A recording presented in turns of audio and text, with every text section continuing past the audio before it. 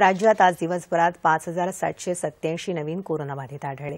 एकशे चौतीस रुग्णांचा मृत्यू झाला तर पाच हजार तीनशे बावन्न रुग्ण बरे होऊन घरी परतले.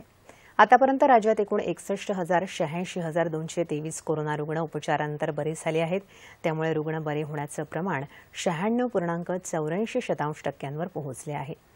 राज्यातला मृत्यूदर सध्या दोन पूर्णांक अकरा शतांश टक्के इतका झाला आहे. सध्या राज्यात विविध जिल्ह्यांमध्ये त्रेसष्ट हजार दोनशे बासष्ट रुग्ण उपचाराधीन आहेत.